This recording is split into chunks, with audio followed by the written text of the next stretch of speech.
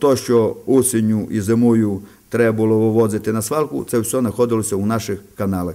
Е, От потім, як кажуть, виникають такі і підтоплення. Це захаращеності і то, що наші, на жаль, громадяни, значить, е, останніми роками е, весь непотріб, весь то, що треба вивозити на сміттєзвалища, значить, викидають у річки. І потім, коли сильні проходять зливи, значить, це все вода піднімається, забирає, і е, ми маємо такі, як кажуть, підтоплення.